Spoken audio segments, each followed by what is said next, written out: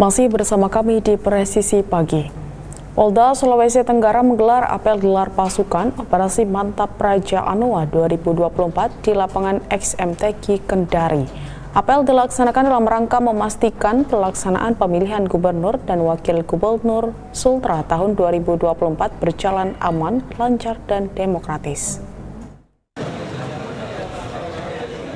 Bertindak selaku pimpinan apel Wakapolda Sultra, Brigjen Pol Amur Chandra Buwana. Dalam kesempatan tersebut, Wakapolda juga memberikan arahan kepada seluruh personil yang terlibat dalam operasi, menekankan pentingnya netralitas, profesionalisme, dan humanisme dalam menjalankan tugas. Selain itu, personil juga diimbau untuk meningkatkan kewaspadaan terhadap potensi gangguan keamanan yang mungkin terjadi. Operasi Mantap Raja Anoa 2024 merupakan operasi kepolisian yang rutin digelar menjelang pelaksanaan pemilihan umum atau pemilihan kepala daerah. Selama pelaksanaan operasi, personil gabungan TNI Polri akan melaksanakan berbagai kegiatan seperti patroli, pengamanan objek vital, dan pengawasan logistik. Selain itu, personil juga akan melakukan deteksi dini terhadap potensi gangguan keamanan dan mengambil tindakan yang perlu untuk mencegah terjadinya gangguan tersebut.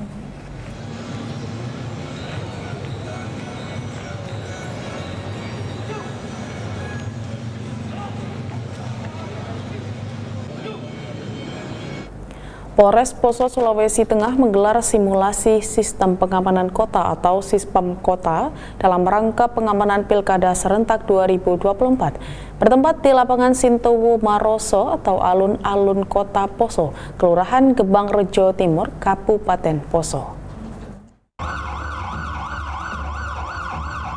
Kapolres Poso AKBP Arthur Samea Putih menjelaskan bahwa Sispam Kota dirancang untuk mengelola dan mengamankan pelaksanaan Pilkada serentak tahun 2024 di Kabupaten Poso untuk melatih kesiapan baik siap personil, siap logistik maupun peralatan serta siap kemampuan sehingga dalam pelaksanaan tugas baik aparat kepolisian, TNI dan semua unsur terkait mampu menangani situasi di lapangan.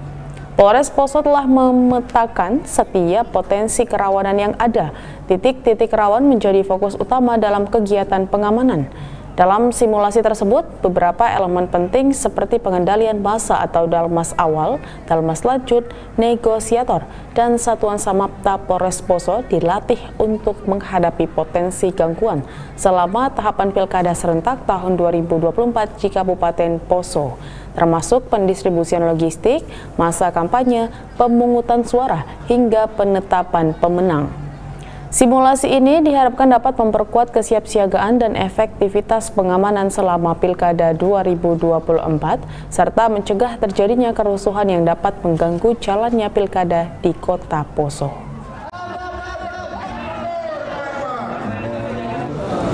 Kegiatan Sispam Kota yang baru saja kita saksikan, kita laksanakan adalah untuk melatih kesiapan baik siap personil, siap logistik ataupun peralatan yang mendukung serta siap kemampuan. Sehingga dalam pelaksanaan tugas nantinya rekan-rekan baik aparat kepolisian maupun TNI serta Satpol PP yang mewakili dari pemerintah daerah siap dalam hal ini mereka mampu berkoordinasi, mereka mampu melakukan nanti apa yang harus dilakukan di lapangan apabila menghadapi situasi gangguan keamanan sehingga terjadi koordinasi, kolaborasi dan komunikasi yang sangat baik. Terima kasih. Jelang pelaksanaan Pilkada serentak 2024, Polres Polewali Mandar menggelar simulasi pengamanan dalam menghadapi masa di mana skenario simulasi ini aparat kepolisian berusaha mencegah aksi anarkis sejumlah masa karena tak puas dengan hasil pilkada. Dalam simulasi yang digelar di lapangan Pancasila PK Bata, di mana sejumlah masa yang tak puas dengan hasil pilkada mengamuk dan mengganggu keamanan dalam kota. Masa bahkan berusaha mendekati kantor KPU hingga dihadang personil kepolisian yang menjaga keamanan dan ketertiban selama pelaksanaan pilkada berlangsung. Masa yang kian anarkis pun berusaha menerobos blokade polisi hingga terlibat bentrokan. Aparat kepolisian bahkan harus melepaskan tembakan gas air mata untuk membubarkan masa yang kian anarkis. Tak hanya itu saja, satu mobil water cannon juga diterjunkan untuk membubarkan masa. Menurut Kapolres Polewali Mandar AKBP Anjar Purwoko, personil yang diterjunkan dalam pengamanan pilkada sebanyak 2 per 3 dari kekuatan personil.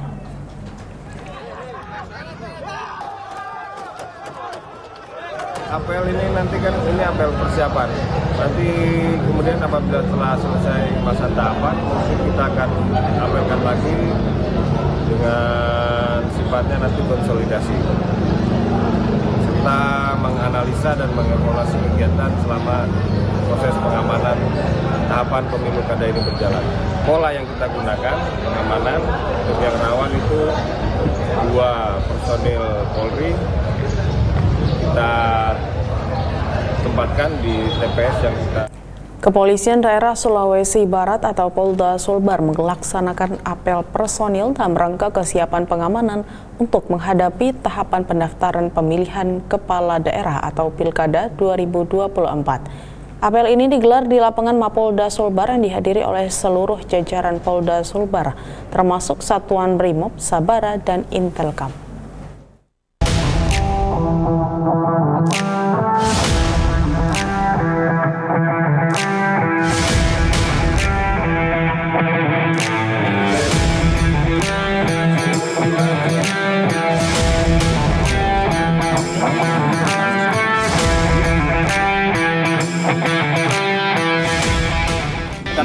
Selamat pagi.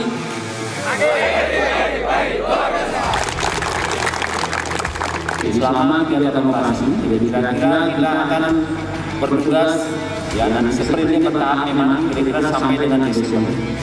Jadi kegiatannya per hari juga masing-masing supaya dilaksanakan dikoordinir oleh kasatgasnya.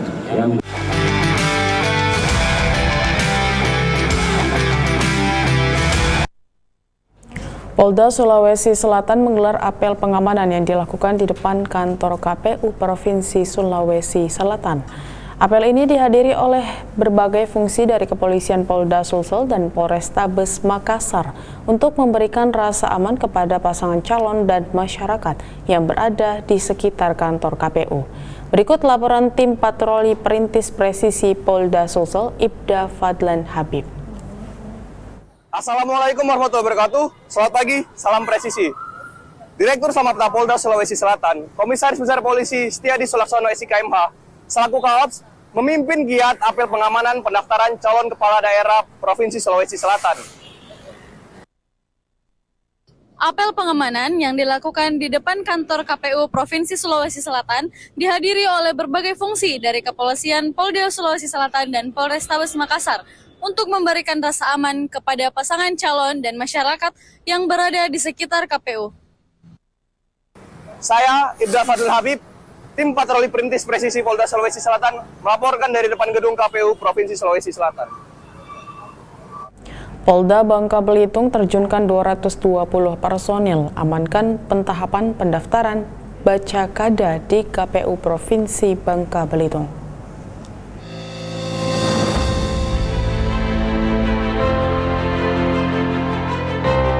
Polda Kepulauan Bangka Belitung menerjunkan sebanyak 220 personel dalam rangka pengamanan pentahapan pendaftaran bakal calon gubernur dan wakil gubernur Provinsi Kepulauan Bangka Belitung. Ratusan personel ini diterjunkan untuk mengantisipasi adanya gangguan Kamtipmas pada masa pentahapan pendaftaran di KPU Provinsi Bangka Belitung. Adapun personel yang diterjunkan meliputi personel dari Satgas yang tergabung di Operasi Mantap Praja 2024. Karo Ops Polda Bangka Belitung Kombes Pol Muhammad Akbar Tamrin mengatakan, para personel telah ditugaskan di beberapa titik untuk mengamankan jalannya pentahapan pendaftaran calon kepala daerah di KPU Provinsi Bangka Belitung. Untuk pola pengamanannya sendiri itu ya dua macam, pengamanan terbuka, pengamanan tertutup.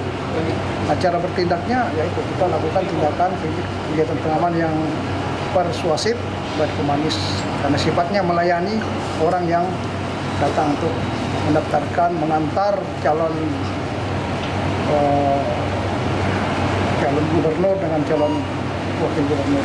Pengamanan sudah dilakukan sejak tanggal 27 Agustus hingga 29 Agustus 2024 dengan mengedepankan tindakan persuasif dan humanis.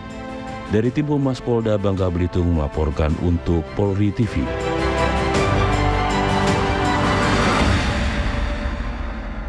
Polda Maluku Utara mendirikan dapur umum untuk membantu korban banjir bandang di Kelurahan Rua, Kecamatan Pulau Ternate, Kota Ternate.